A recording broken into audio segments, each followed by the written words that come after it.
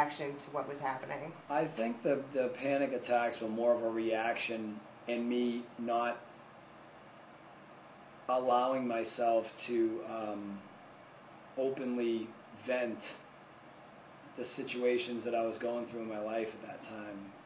You know, with a really bad relationship, watching this girl screw me over, finding her with other guys, and never, you know, with the exception of the, the, the lashing out kind of stuff, never kind of processing this when I was hurting over it.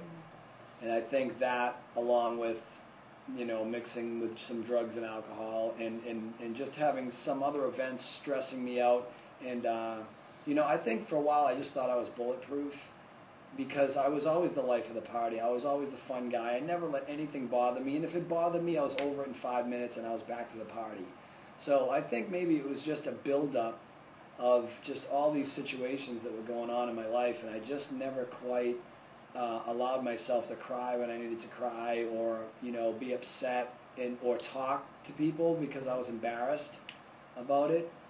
And, and I think it just kind of built up like a pressure cooker. And that's, you know, the best example I could have used is the one I used in the book. How it just, I felt like it was just all this, this big pot that was I was stuffing everything in and turning up the heat and turning up the heat, and eventually, it was just a way of my body releasing it when I didn't know how to.